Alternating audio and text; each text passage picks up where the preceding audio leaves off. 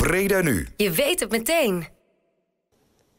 Stek is een broedplaats voor jonge ondernemers die heel creatief zijn en bestaat sinds maart dit jaar. Stek bestaat uit 15 creatieve bedrijfjes in originele duurzame behuizing. We gaan een kijkje nemen bij de bewoners en de sfeerproeven.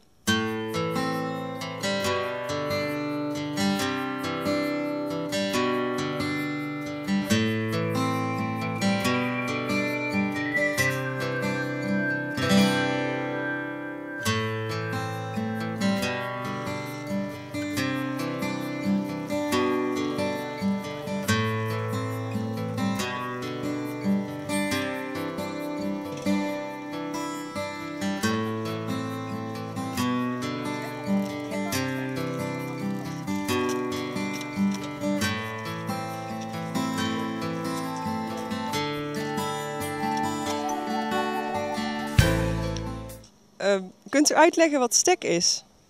Uh, ja, dat is een uh, creatief bedrijventerreintje. Het is hier, we hebben een stuk terrein van de gemeente gekregen voor tien jaar in Bruikleen.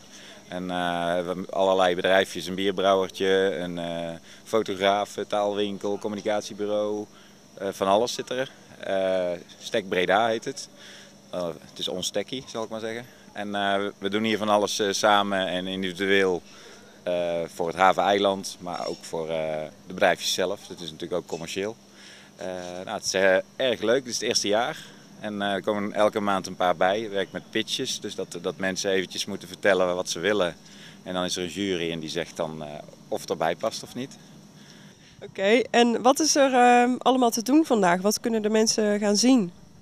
Uh, ze kunnen hier uh, uh, koffie krijgen en, en, lekker eten van lokaal B. de fietsenmaker is open. De Reuze is een.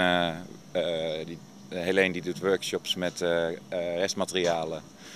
Ehm, de tantes met de Tupperware-lampen zijn open. Ja, eigenlijk is ieder bedrijfje wat hier zit, laat even zien wat hij doet. Oké, en we zagen net een hoop fietsers binnenkomen. wat zijn die eigenlijk aan het doen? Waarom zijn die hier binnengekomen? Ja, het is vandaag een uh, speciale dag. Het is de eerste keer uh, dwars door Breda. Dat is uh, door de Keizerassurantie bedacht. Dat al hun, de bedrijven waar zij iets voor doen, stel, zoveel mogelijk in ieder geval, stellen hun deuren open. Dus je kunt nou dwars door stek fietsen. En, en Welker een Beach en de Macro en de Graanbeurs. En, over, het, het, is iets van 27 kilometer en een stuk of 30 bedrijven waar je doorheen kan fietsen vandaag. Dus we verwachten ongeveer 250 fietsers. En volgend jaar 500. en uh, het is een heel leuk uh, nieuw initiatief. Ja.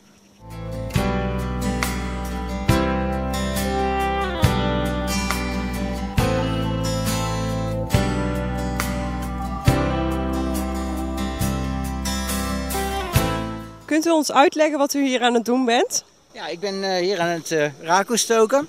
Ik heb uh, in de oven een paar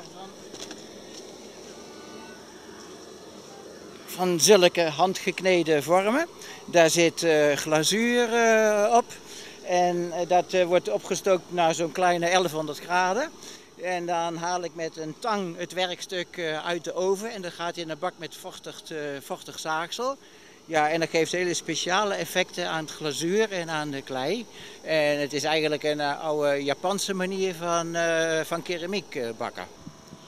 Kunt u ons vertellen wat de taalwinkel uh, is? Ja, zeker. Wij doen eigenlijk in de taalwinkel alles met letters. En uh, dat betekent op de eerste plaats schrijven. Um, dus we doen allerlei schrijfopdrachten van groot naar klein. Um, maar we hebben ook een, een, eerste hulp bij schrijven. Dus dat is eigenlijk voor hele praktische schrijfklussen.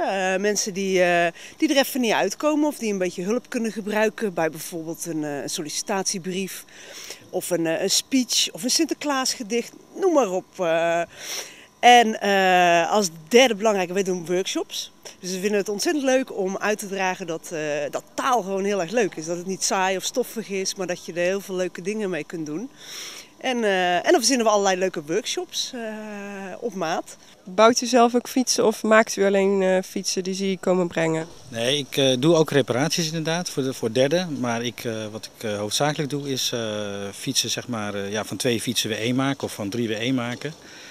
En dan, uh, ja, zo, en dan te koop aanbieden. Breda nu. Je weet het meteen.